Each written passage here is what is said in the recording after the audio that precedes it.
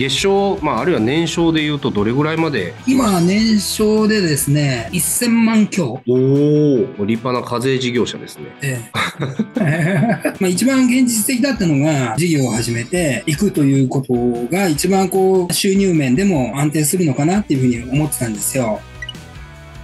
そういう形でこう今は1000万超えてきたということなんですけどこう私が聞いてる限りこうかなりうまくいってるんじゃないかなというイメージなんですけど、は うまくいく人とうまくいかない人って見てきましたよね。ええ。なんかそういう人たちのこう差ってどんなところにありますか？積極性の問題だと思うんですよね。まずあの仕事を与えられるのではなく自分から何をすべきかと考えて取り組める方はみんなから必要とされて、はい。みんなと溶け込みやすいのかなと思うんですよ。それと真逆の方今ってやっぱり時間がかかるのかなって。ちょっと消極的な方はお時間がかかっちゃうええ消極的だから別に失敗するとかっていうわけではないんですかねそうですね。そういうことはないです。ただ時間がかかるんだろうとは思うんですよ。あとは事業を始める時の心構えというか、目標設定といいますか、そういったものによっても変わってくると思うんですよね。それでいうと宮崎さんはどんな目標を立てられてらっしゃったんですか？最初はパッケージ50でしたんで、50達成した時点で自分の体力とかがどれぐらいあるのか、それを試してから決めようとは思ったんですけど、とにかく前向きにどんどんどんな仕事でも遠慮せずに身につけていこうと。さっき言った前者の方が僕のタイプかなとは思います。なるほどどんどんどんどんこうもう挑戦してスキルを身につけて仕事の幅を増やしていこうというのが当初の目標だったということですね、ええそうですね。実際このそうやってチャレンジ続ける中でもう加盟してからこう苦労したこととかってなかったですか？当初はですね、体が痛いですね、やっぱり。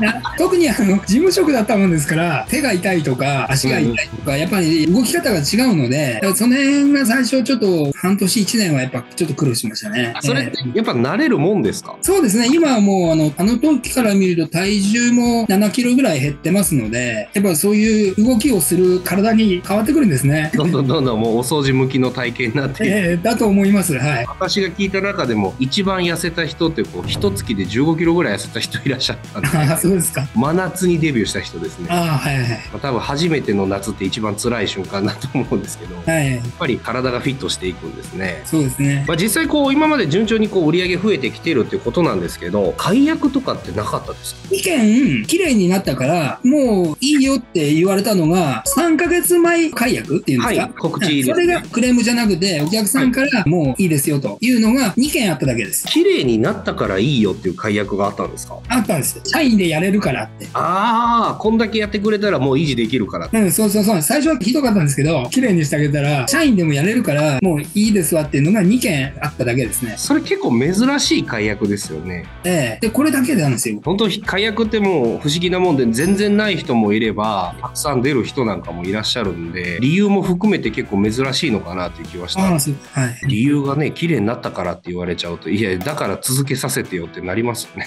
はい。はいお邪魔します。営業不要売上保証のお掃除フランチャイズ大吉カバールの加盟オーナー大募集中です。詳細は概要欄から。事業継続率ナンバーワンのフランチャイズがここにあります。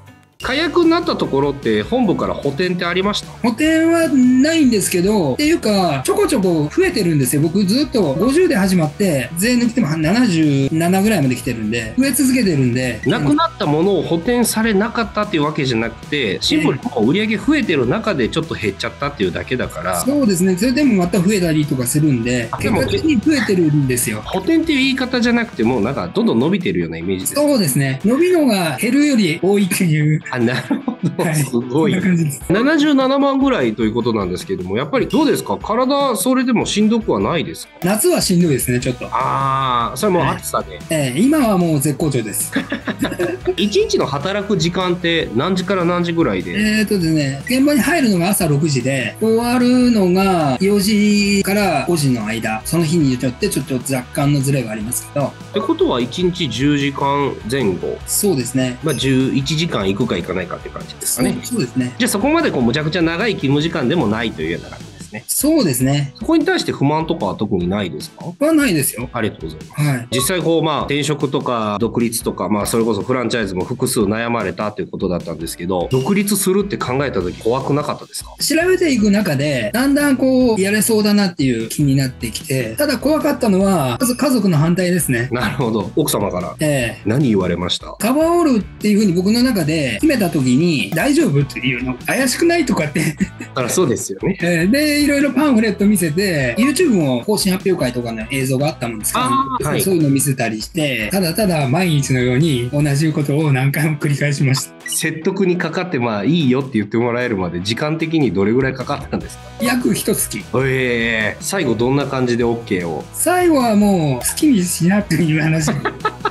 そこまで言うんだったらいいよと、はい今じゃあ逆に奥さんどうなんかおっしゃられてます？今は良かったって言ってますよ。そう言ってもらえるとねやりがいありますよねそうですね。じゃあカバーオールにこう加盟を考えた時って貯金とか資金って手元にどれぐらいあったんですか？1000万強ぐらい。結構あったんですか？ええ加盟時って融資とかは？融資はしてます。ちょっとローンしないと、はい勤労意欲がなくなっちゃいかんなと思って、400万ぐらいローンしたかな。1000万っていうのはもともとコツコツ貯めてらっしゃったんですねそうですね。あとはあの退職金も入ったもんですから、なるほど。じゃあまあそこを一気に使うんじゃなくてちゃんともうお金を借りて返すという。ある程度ちょっと残して、それがやる気を起こすためというところですね、はい、来年の5月で終わるんですよね、それも。ああもうちょっとですね。頑張ってください。ありがとうございます。実際こう加盟してから他のオーナーさんとの関わりって結構あるもんですか？僕の場合、あの、定期とか、スポット作業とか、結構受けるので、そうなんですね。で、一人でやれない作業が出ますので、そこはお互いに持ちつ持たれつで、行ったり来たりというふうでやっております。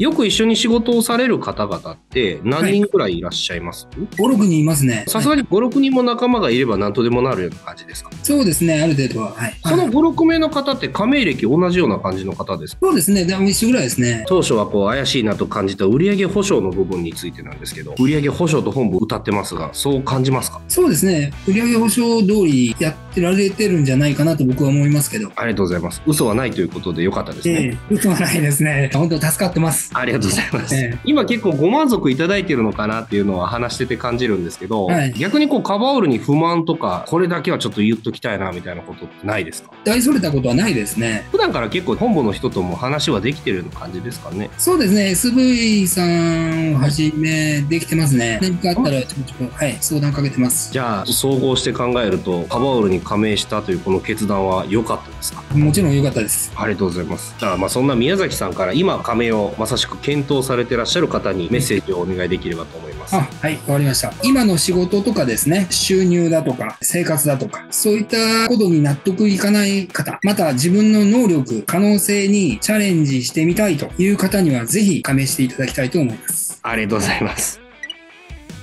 ということでですね、今回はもう既存でお仕事をされてらっしゃる宮崎さんにお話をお伺いしてみました。宮崎さん、今日はありがとうございました。こちらこそどうもありがとうございました。まあ、今回の動画見ていただいてですね、参考になったなという方はぜひグッドボタンとチャンネル登録をよろしくお願いいたします。ということで今回もゴリピーでした。ありがとうございました。